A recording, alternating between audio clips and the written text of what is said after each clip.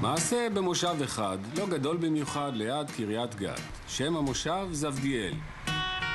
הוקם לפני 65 שנה על ידי עולי תימן, וכיום יש בו 120 משפחות ושישה בתי כנסת.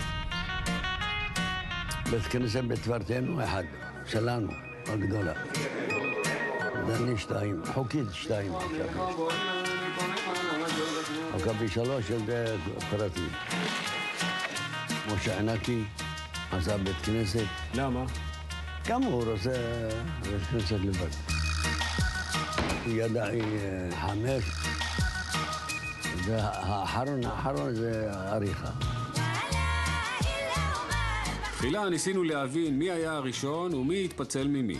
התחלנו את התחקיר אצל משה ענקי. ענקי הוא זמר ידוע בעדה התימנית, וחוץ מזה הוא אחראי על בית הכנסת הזה. למה מלכתחילה נבנה בית הכנסת הזה? בית הכנסת הזה קיים מ- מיום שהגיעו לכאן. לזבדיאל? כן. לא, לא, לא, לא, לא, לא. הבית כנסת הזאת הייתה לפני אה, ענקי. כולם התפללו פה. וענקי התפצלו מכאן? בענקי התפצלו מכאן. למה הם התפצלו? בוויכוחים אה, אה, קטנטנים. בקיצור, העליבו את הענקים והם עזבו. לא העליבו את- הענקים כולם, העליבו את הראש הכנופיה. והמשפחה הלכו אחריו. שרה צנעני מנסה למסור לנו את קיצור תולדות הקונפליקט באמצעות סיפורו של בעלה שלום, עריק סדרתי מבתי כנסת. קודם היה סלחיה, כן. רבו, עזבו, לקחו בית כנסת אחרת. איזה? של גיימני. ואחר כך התפכחו. עזב בית כנסת של כהן. מבית של כהן חזר לעוגבי. אז אתה בעצמך עברת כמה? ארבעה בתי כנסת? שלוש. שישה בתי כנסת במושב קטן, וברור שבימי חול אין די מתפללים לכולם. באמצע השבוע, כיוון שאין מניין לכל בית הכנסת, אז אה, מצטרפים אה, לבית כנסת אחת או לשני בתי כנסת ומתפללים. איפה אתה מתפלל באמצע השבוע? אני מתפלל באלומה כבר 38 שנים. אתה הולך למושב אחר להתפלל, באמצע השבוע. כן. יש לך חמישה בתי כנסת ליד הבית, ואתה הולך להתפלל במושב הסמוך. למה? אל תכניס אותי לביצה הזו, כי אני לא אכנס אליה. ריבוי בתי כנסת תימנים זו תופעה שמוכרת גם מיישובים אחרים. בזבדיאל פשוט רגילים להגזים. המושב התאפיין במחלקות וקטטות מיום הקמתו. היו הרבה ריבים. נכון. למה? חמולות היו, חמולות. היה מסוכן לצאת החוצה בזבדיאל. כן, הוא השתתף בקטטות? לא, לא קיבל מכות אף פעם? לא. הוא לא יצא מהבית ולא לא נתתי לו לצאת. היה איזה שנאה שהיא, אחר כך השלימו. אתה יודע, בכיפורים צריכים אה, לעשות מחילה. אז בכיפור עשו סולחה, כן, עושים זה. ובסוכות חזרו לריב. התימנים לא משתווים, שכולם עדה אחת לא משתווים. מה הכוונה? כל אחד רוצה להיות הראש, הוא רוצה להיות השולט, הוא רוצה להיות אה, המנהיג. אני לא יודעת איזה נביא קילל אותם, שכל אחד רוצה להיות ראש.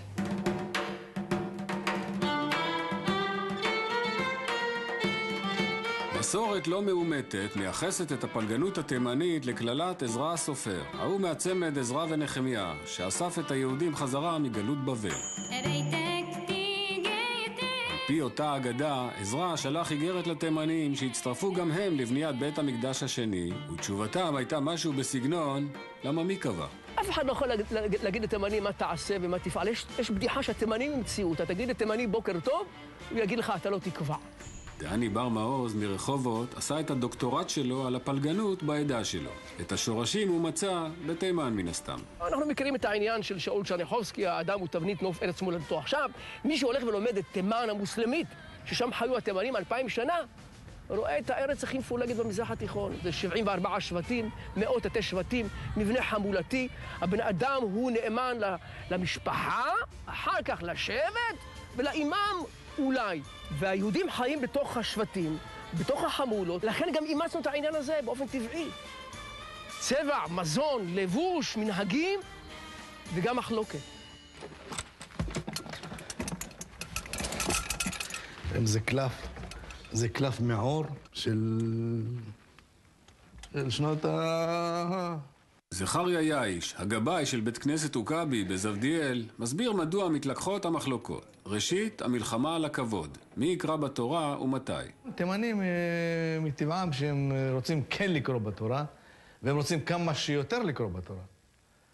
אז הוא, אז הוא אומר לו, שמע, למה אני פעם בחודשיים קם לספר תורה? אז הוא עושה בבית כנסת. עוקבי הייתה משפחה בלי בית כנסת, ואף אחד לא ספר אותם עד שראש המשפחה פנה לראש הצנענים בהצעה שאי אפשר לסרב לה. עוגבי זה אמר לי, תשמע, יש לי שני ספרי תורה. בוא, אני נפתח, אני ואתה, בית כנסת, ואתה תהיה החזק. אמרתי שאתו אדינוי אלוהינו ולאבותינו מלכי אלוהים זולו וחוסה לו הסיבה השנייה שמפרקת בתי כנסת היא העלבונות. מי מעליב? מי שבאותו יום לא קורא בתורה. מי שעולה לקרוא בבית כנסת תימני, הוא תחת עין המצלמה. כולם עוקבים אחריו, ואם הוא טעה, זה לא הבעל קורא כמו אצל הספרדים והאשכנזים, שהוא מתקן, ורוב הציבור האשכנזי אפילו לא יודע שהוא טעה, בגלל שהם לא מצויים בקריאה. אצל התימנים, כולם במערב. וכשהוא קורא וטועה, זה לא שהבעל קורא מתקן אותו, כולם ככה בשאגות. וואו, יש נזיפות. אם אתה טעיתי, או מעירים. ככה, אם הוא העיר לי, אז אין כל סיבה שהוא יקום, אני לא אעיר לו. אז אני תמיד אחכה לו. זה משהו נורמלי. אלה תולדות נוח, נוח איש צדיק, תמים היה בדורותיו. בדלת יש נקודה, אתה חייב לומר בדורותיו, יעני שאתה צריך להיות דגש באות דלת. אז זה כבר מעירים לו. מתקנים אותו, הוא חייב לחזור. אבל זה שעכשיו אתם בבית כנסת אה, יותר משפחתי, זה לא פתר את הבעיה. למה? כי גם פה מעירים. למה לא? כל הזמן מעירים. כולם רבנים, כולם קוראים, כולם יודעים, וזה רפלקס, זה בא להם, אתה יודע, רפלקס. הם, הם לא מתקנים, גם אם אתה אומר להם לא לתקן, זה יוצא להם. ואיך זה שכולם כאלה אלופים שהם מרשים לעצמם להעיר ולנזוף? כי כולם למדו לקרוא בתורה אצל המורי, ולמורי היה סמיל. סמיל זה מקל, עם שוט. מגישות מעור. שלוש אה, חתיכות ככה, והם אה, זה במסמר המקל, לוקח את השוט, שם אותו ככה.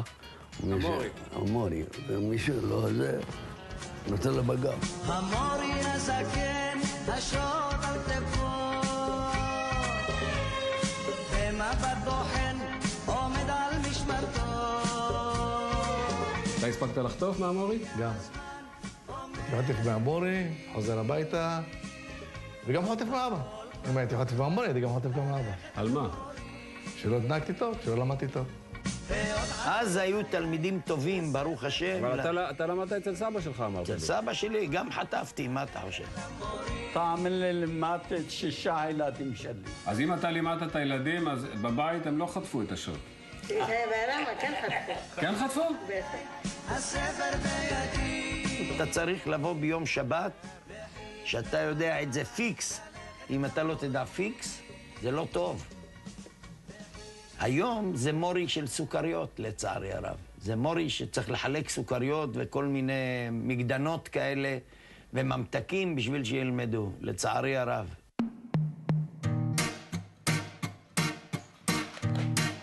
הולך ופוחת הדור, טוענים הזקנים, אבל יש גם צד חיובי, שהדור הולך ונרגע. כבר שנים רבות שלא הייתה קטטה המונית בזבדיאל. המושב מנוהל בתבונה ויישוב דעת, וטוענים שיש אפילו בית כנסת אחד או שניים שבהם לא גוערים במי שקורא בתורה. אז אולי הגיעו כבר ימות המשיח, וניתן לאחד חזרה את כולם לבית כנסת מרכזי וגדול. למה להתאחד? לבית כנסת אחד. אבל אני לא יכול להתאחד. לא סוגרים בית כנסת. אתה אומר, היום גם אם הייתם יכולים להתאחד, יש לכם עיקרון שלא סוגרים בית כנסת. לא, היום גם, גם קשה מאוד להתאחד. כרגע זה לא השלב. אין שלב כזה בכלל. מוקדם מדי. מדי. ממש מוקדם מדי. אני בעד שיהיה בית כנסת אחד גדול, יפה, מרכזי. אז למה זה לא קורה? אצל תימנים זה לא קורה ולא יקרה.